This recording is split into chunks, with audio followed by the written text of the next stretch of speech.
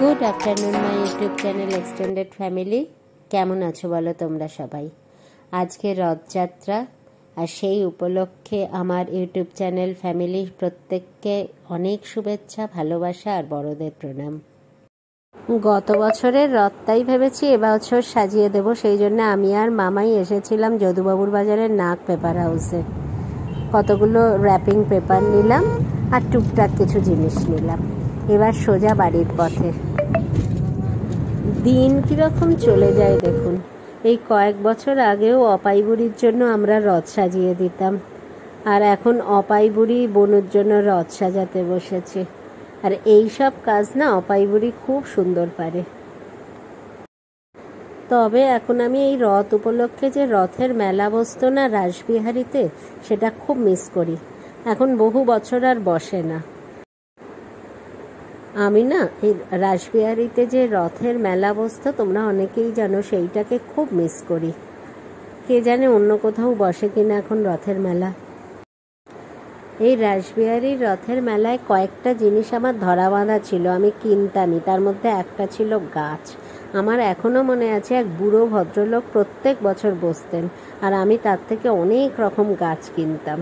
আর মামার জন্য ছোট্ট ছোট্ট খেলনা পাওয়া যেত, স্টিলের হাড়ি কড়াই সেইগুলো কিনে আনতাম।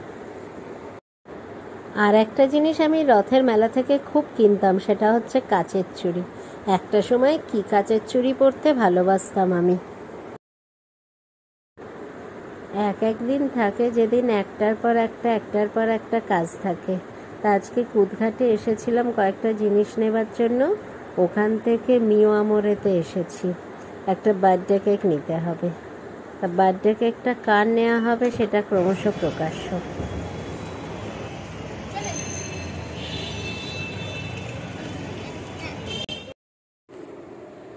আমি যে বিশাল অনলাইনে কিনতে পছন্দ করি তা নয়, তবে মাঝে মাঝে কিছু অফার বেশ ভালোই লাগে। মিন্ত্রা থেকে আমি এই চারটে কুর্তি কিনেছি মামায়ের জন্য। এটা মামায়ের সারপ্রাইজ গিফট অ্যাকচুয়ালি কালকে মানে আগামীকাল ওর জন্মদিন।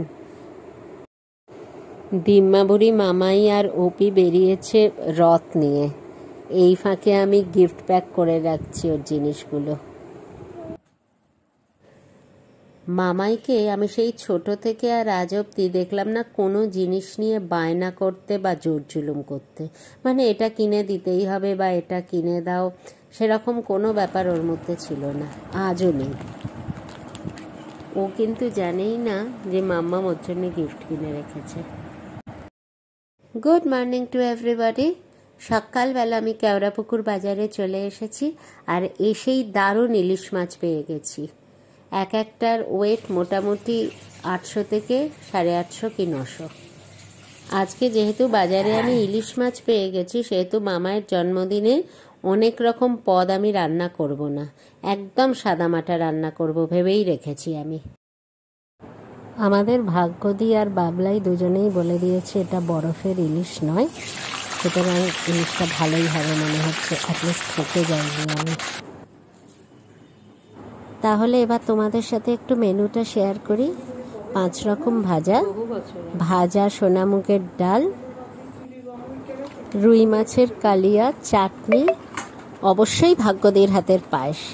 এটা একদম বহু বছর ধরে চলে আসছে। যে আমাদের জন্মদিনে পায়েসটা ভাগ্যদেই করে। আর আর একটা জিনিস, যদি সময় পাই, একটা ব্যাপারে একটু আমরা টেনশনে আছি, সেটা যদি সব ঠিকঠাক থাকে, তাহলে পোলাও। তোমাদের সাথে এক্ষুনি একটা খুব ভালো খবর পেলাম, সেটা ভাগ করে নিই। তোমরা যারা আমার ব্লগ রেগুলার দেখো, তারা সবাই বিনোদকে চেনো। ইয়েস বিনোদ আর রবিনা মানে ও স্ত্রী। They are blessed with a little baby girl একটু ঝাল গত পরশু থেকে এইটা নিয়ে আমি মামাই বাবলাই এমনকি অর্পি প্রত্যেকে খুব টেনশনে ছিলাম। তার কারণ হচ্ছে রবিনার ব্লাড প্রেশার সাংঘাতিক হাই ছিল এবং বেবির ওয়েট ভীষণ কম ছিল। ডক্টর বলছিল আমরা কিচ্ছু বলতে পারছি না যে কোনো কিছু হয়ে যেতে পারে। এনিহাও হ্যাঁ ওদের আর একটা ছেলে আছে চার বছরের ভিভান এনিহাও আমরা ভীষণ ভীষণ ভীষণ খুশি। ব্যাস। এবার আমরা নতুন উৎসাহে চিন্তামুক্ত হয়ে যে যার কাজে লেগে গেছি। সন্টি সন্টির কাজে লেগে গেছে। ভাগ্য দিয়েও এতক্ষণ মুখটা গোমড়া করেছিল, মনে হচ্ছে এইবার পায়েসটা খুব ভালোভাবে রান্না করতে পারবে। ব্যাস, যা বলেছিলাম। এতক্ষণ ভাগ্যদের দেখা পাওয়া যাচ্ছিল না। এবার আমি রান্না করে যাচ্ছি আর এসে সমানে বলে যাচ্ছে, ও দিদি, তোমার হয়েছে? এবার আমি করব? ও দিদি, তোমার হয়েছে? এবার আমি পায়েসটা বসাবো?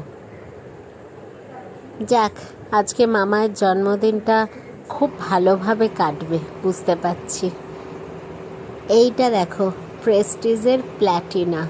মামাই যেহেতু কুকিং ওয়ার কাটলারি সেট, এগুলো খুব ভালোবাসে এইটা আমি ওর জন্য নিয়ে এলাম। রামুর দোকানে গেছিলাম একটা অন্য কাজে। এটা দেখলাম, তা বললাম যে দাও। পরে আমারও জন্য একটা কিনবো। এটা বেশ ভালো দেখলাম। বেশ ভালো মানে আমি বোঝাতে চাইলাম, রান্না কীরকম হবে জানি না, কিন্তু দেখতে খুব সুন্দর। আজ আমি সকালবেলায় সাই বাবার পুজো করে নিয়েছিলাম। এখন আর তারা নেই। আর একজনকে দেখো।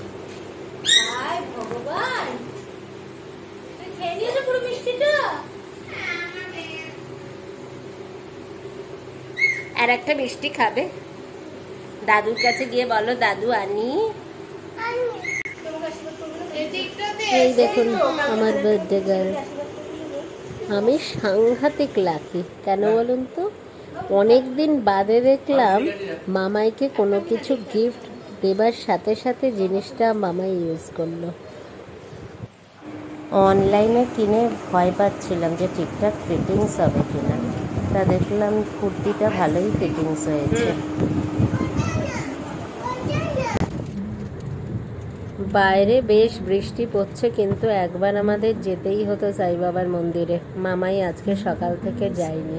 আর এখন তো বিনোদকে ডাকাটা উচিত নয়। যদিও আমি জানি বিনোদকে একটা ফোন করলেই ও চলে আসবে, কিন্তু উচিত নয় সেটা।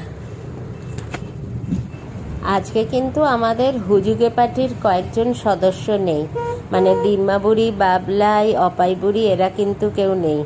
এরা সব বাড়িতে আছে। আমি ভাগ্যদি আর মামাই বেরিয়েছি। এই রকম বৃষ্টির মধ্যে মনটা একটা যেন কিচাই কিচাই করছিল। অগত্যা বাড়িতে একটা ফোন লাগালাম। তা দেখলাম বাড়িতেও অর্পি, বাবলাই ওদেরও মনের মধ্যে একটা কিছু একটা কিছু একটা খেতে হবে এমন মনে হচ্ছে। তা এখানে আমি আর মামাই এসেছি। কয়েক প্লেট কাবাব ভেবেছি কিনে নিয়ে যাব, বাড়িতে বসে খাওয়া যাবে। বোঝো ঠেলা ভাগ্যদি আর মামায়ের দুজনেরই মনে হলো একটু চা খেতে হবে। অগত্যা উদিপি, আর এই দেখো, আমাদের বার্থডে গার্ল সে কি ভাবছে বলে দিচ্ছি। কিছু একটা তো মোবাইলে দেখছে, তার সাথে ভাবছে মাম্মা আবার কোথায় আমাকে এক্ষুনি বলবে নিয়ে চল। আর এই দেখো আমাদের ভাগ্য বুড়িকে। সে কি দেখছে কে জানে? অবশ্য আমারও মনটা কেমন চা চাই করছিল।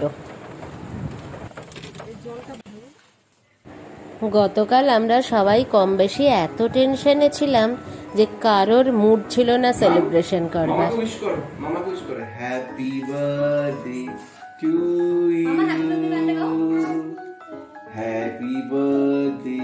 টু